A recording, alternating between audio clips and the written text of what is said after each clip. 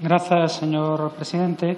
Es evidente que la política ferroviaria del Gobierno español no ha sido hasta el momento en absoluto equilibrada, primando las conexiones radiales desde Madrid y condenando al abandono otros territorios. En el caso de Galiza es especialmente sangrante el estado de las redes ferroviarias internas, cuando es que existen, porque no hay, por ejemplo, entre Santiago de Compostela y Lugo, a pesar de ser dos de las principales ciudades gallegas, con déficits evidentes o con ausencia prácticamente total de servicio de cercanías, un Estado que exige actuaciones urgentes. Por eso el BNG viene reclamando un cambio de rumbo en la política ferroviaria. En esto coincidimos con el proponente.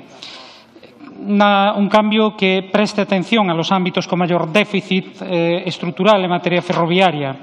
Por eso, en el acuerdo de investidura incorporamos impulsar el corredor atlántico de mercancías, completar las conexiones con los puertos exteriores de Ferrol y A Coruña y modernizar y completar la red ferroviaria eh, de Galicia. Por cierto, entre las actuaciones que entendemos prioritarias, por ser una de las líneas más precarias, con mayor grado de deterioro, de averías, de accidentes, lo que lo convierte en poco fiable, pero al mismo tiempo es absolutamente necesaria, es la línea de FEBE, que articula todo el norte gallego de Ferrol a Ribadeu y continúa hasta Xixón.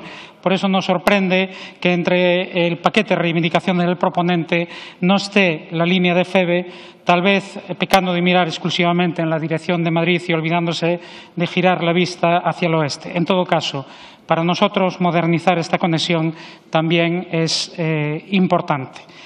Eh, en relación con las eh, propuestas que hace para Asturias, lógicamente, dado el grado de conocimiento que tenemos de la adecuación de esas propuestas, nos vamos a abstener. Muchas gracias.